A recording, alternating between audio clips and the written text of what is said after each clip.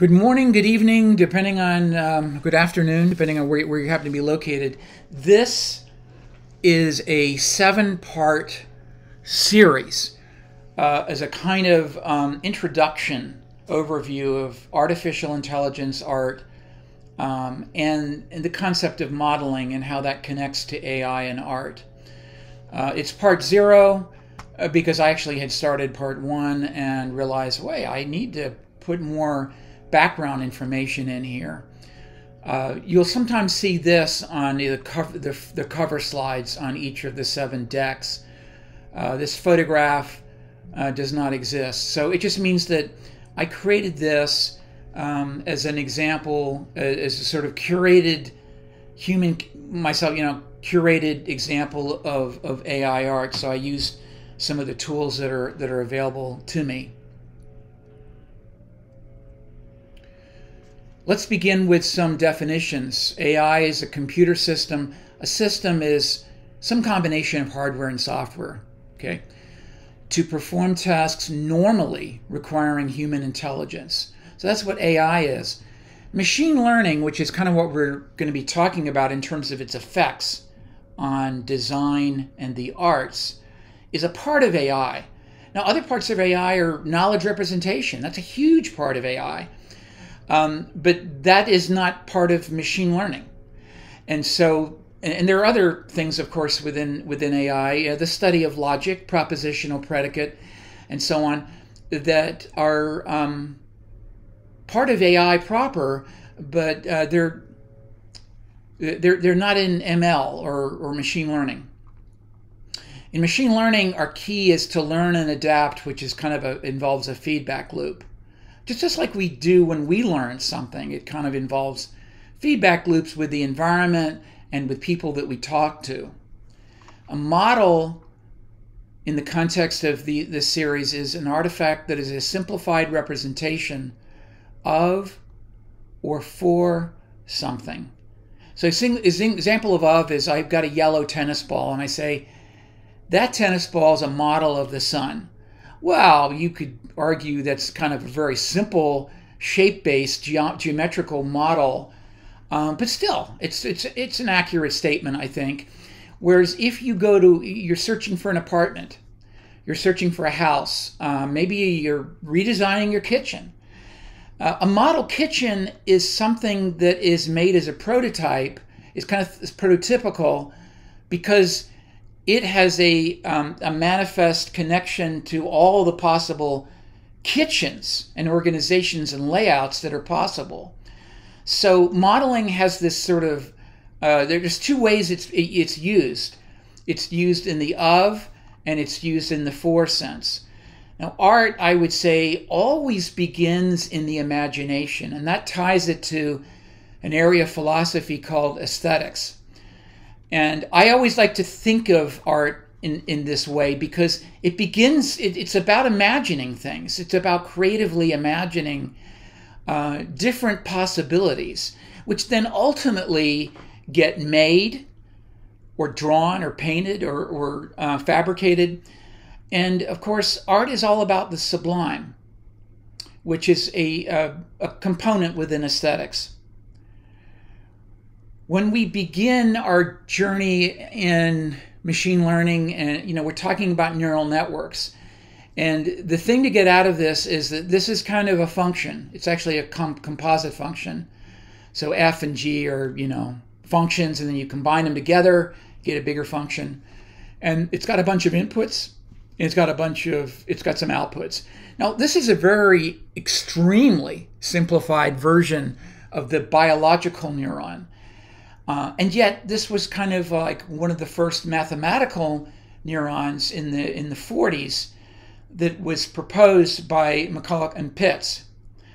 And the other key thing, and this is I can't sort of overemphasize this, is you when if you program like in Python or JavaScript, for example, you're generally thinking in terms of control flow, the flow of control do this, do this, do this, do this, right? It's natural. And of course, you have branching occurring because there's conditionals. You store stuff in arrays and variables. Um, but it's it's a flow of control. This is very different. We're talking about a machine learning is quite different. The whole modal the, the metaphor is different. It's data flow. So what flows into these into these functions are data, which are then produce output. So if you think of functional programming, you're very close because functional programming, as its sort of metaphor, uses the idea of data flow, right? Uh, so that's important when recognizing machine learning. This is a, a neural net that you could think about this as being, you know, beyond the McCulloch-Pitts neuron, before the, you know, going beyond the perceptron, which is another component within the history of neural networks. And, you know, you've got an input layer, a hidden or latent layer, and you have an output layer, and you have these biases, which are kind of additive numbers uh, to, say, a multiplicative term. And the thing to kind of get away from this is okay, a couple things. One is it says fully connected. What does that mean? It just means that each neuron here is connected to every neuron in the next layer. So that's what a fully connected means. And in the bigger sense, this is really just a gigantic function. F, right? It's a, it's a big function. Um, and so you can see the composability and the hierarchy going on um, in, in saying, you know, this is really just a box that itself has inputs and outputs. And so we use that. I'm not going to go into this in any great detail other than to say this is a model or sometimes called an architecture for a type of um, machine learning neural network. And you're looking at the higher levels of that model. Like, you remember I talked about fully connected? You don't actually visualize it in this architectural diagram. You just say FC and you know that if you zoom in with your microscope on an FC, you'll find a fully connected um, pair of layers, right? And so um, that's kind of what this this chain is is meant to represent. And the other things you can kind of look up if you want to dive down into the uh, the rabbit hole, the deep recesses of machine learning and how how how it works. But um, think about data flow. This is, involves data flow, and it's a higher level than you know we saw in the the, the explicit pictures of neurons. This is part of a family of models which is very popular in the uh, in design and in art called GANs or generative adversarial networks. So StyleGAN in particular which is promoted by a company that you may have heard of, NVIDIA. They are pretty much, I would say, the major company on the planet making hardware to make all of this stuff happen. There are other people that make chips, semiconductors, and hardware, but I'd say NVIDIA owns most of that market right now. So where we're going to begin is in the imagination. You know, I said, well, art really is about the uh, sublime you know, just finding fascination in the sunset and just looking at it, you know. Uh, for example, we're going to start with a holodeck. So, what is a holodeck? A holodeck is something that occurred in Star Trek Next Generation. That's where it mostly was featured in the beginning. And in the holodeck, you can kind of do anything you want. You can just say, create a very green forest with ferns, trees, and uh, a sky with uh, some puffy white clouds. And you might even say, dress me in a particular way, although this is the Star Trek uh, uniform. And so it's kind of, you know, the extent of our of our science fiction future, right? It's like we're kind of moving in this general direction.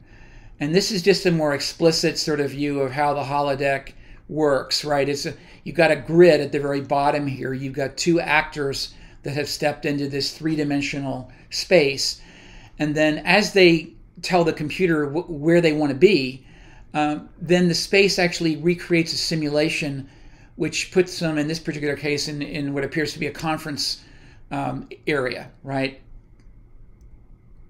So part of the holodeck features is it's part of Star Trek. Uh, you can tell the computer, ask the computer, perform any task. Examples of tasks are create people, create, say, um, a forest or uh, an old uh, 19th century Western mining town. You can pretty much uh, ask it to do anything you want, and you can. It's it's uh, it uses. You can specify styles. This is important because this is something that carries. This is associated with uh, design and and and art in terms of machine learning. You'll see this term in, in other places. So in, in many ways, you know, the AI art scene and, and the movement, uh, especially with the dramatic explosion in 2021 of, of tools and, and, and notebooks and so on, it brings us closer to the uh, the the holodeck reality. Uh, we have no idea how you know if the holodeck will ever really exist, but things along the way bring us closer. So I might say to a computer, you know, create a scene with a river blue sky and mountains in the background. And a person in the foreground wearing a tri-cornered hat, you know, like they wore in the in the 18th century. So I can do that. And what's interesting is that this is the kind of thing you can do now. And that's that's what I mean about AR brings us closer to the holodeck is that um, you know, five, ten years ago, you, you could not even imagine uh, really being able to pull this off. But there are many pieces of software that you can play with that get us closer. Um, human humans are in control. That you know the, the machines aren't out to replace the humans. At least that's the that's the goal. Um, however, from his from history, we know that that's happened. Uh, and generally, what's happened is people work in another area, right? They get a new job or they get reskilled. Um, but the, the key point here is that humans are in control of creative production. You, or, as an artist or a designer, you're already in control of this.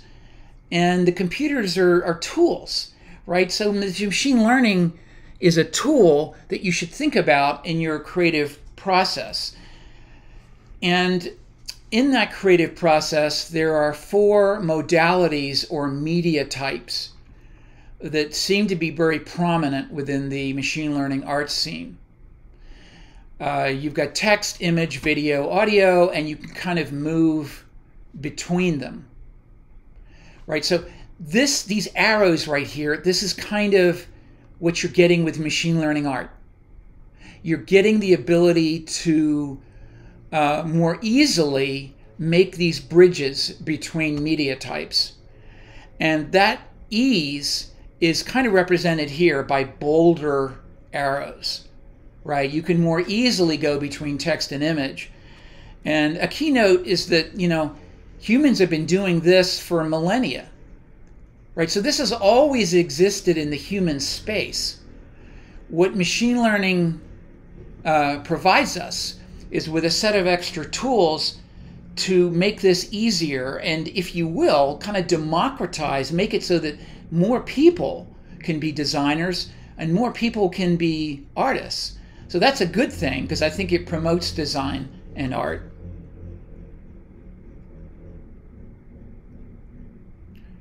And uh, the term labor here, I think what I what I mean by this is that it doesn't take you as much time all technologies beginning with the invention of fire. And you know the bow and arrow and the spear and, and so forth. Um, these help us in some way. I mean that's the idea. They they make it so that our labor is is is less. And that's kind of the role uh, for for the you know the longest time humans have been joined at the hip with technology and uh, of course since the 1940s we've been joined at the hip with digital technology. And the idea is that it makes things easier for us. So you have you have a workflow right now in doing design and art. This is just an example of uh, a simple workflow where you may begin with a text prompt and you may turn some knobs, make some controls. These are often called hyperparameters. So you modify the hyperparameters and you give it a text prompt uh, which in effect is kind of a hyperparameter. And you go into this GPT. This is a class of machine learning models that works with text. So we begin with a prompt, and then it the GPT completes that prompt, and then we may do a selection of that larger text, the amount of text, and produce a summary. So these are just functional blocks. They they take as input, they produce output. It is a data flow diagram. And you know, you have to sort of think about if you had to map out your current workflow, your artistic creative production. Uh, you you may do something like that, depending like this. Uh, you may not always like put boxes around it and so on, but um, this is just to show you the potential and to point out that machine learning is just part of the process. Like here, I'm getting the text summary, but I'm using that as a, a, a way to create an image, synthesize an image. So an image comes out of this. Text goes in, image comes out. And the image can be post processed by Photoshop, for example, or GIMP, um, or one of many other tools. And so you have to think of the tools you're already using now as being part of this. This is just another set of tools that will help you be creative. And this is way too long to read or go over. What I want you to get out of this is that in bold text, that is what I entered into the machine, into this program called GPT Neo. I had my sword and found myself in a dark crypt. Now, the emphasis that I gave verbally, of course, that's that's not um, unfortunately part of this particular process. It just takes the the English, and then it the machine completes with everything else. So everything else you see in non-bold was created by GPT Neo. So this is just a, a kind of macro example. If you want to read the entire script, uh, you know, use the PowerPoint, which is available, and go through it. But um, prompt goes in in bold. Text which is more lengthy, comes out. And this is often called a completion. Okay, one thing I will recommend uh, there's a there's a ton of really good resources on the internet. Uh, you may want to look at for, for in terms of high level approachable things, as opposed to you know detailed technical papers with lots of linear algebra and mathematics. Um, I look at this, I recommend this uh, series by Bakz T. Future. And if you click on this, it will take you to YouTube. And um, I think he's got almost like 20 videos on the multimodal. And multimodal, remember this as being kind of like the diagrams that I showed where we had text, image, video, and audio, is the ability to bridge those. That's what multimodality means. And it's what machine learning art facilitates. Uh, there's also a good blog that I, I read yesterday, so I'm putting a link to that here, and you can you can look at that.